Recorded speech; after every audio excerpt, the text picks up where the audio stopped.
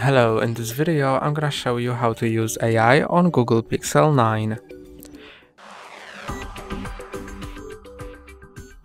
The best way to use AI is to use Gemini.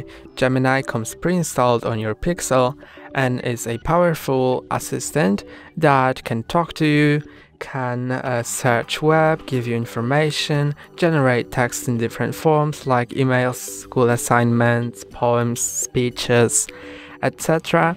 And to use it, just open Gemini and it can, uh, for example, identify pictures. So let's take a picture like that.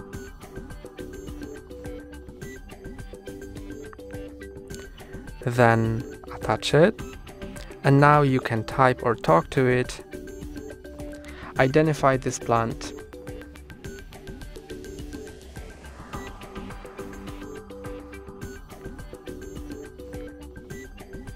Based on the image, the plant appears to be Echeveria. It's a popular succulent known for its rosette-shaped leaves that often come in various colors.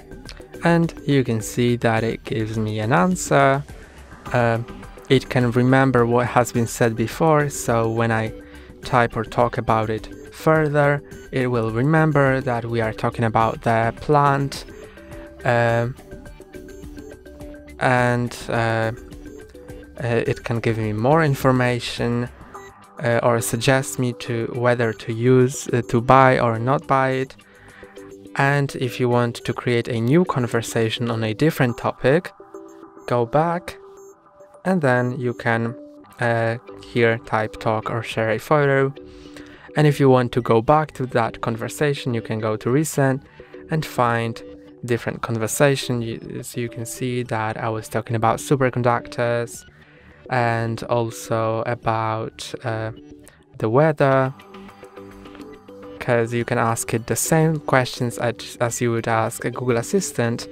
So you can, for example, ask it, What's the weather next week?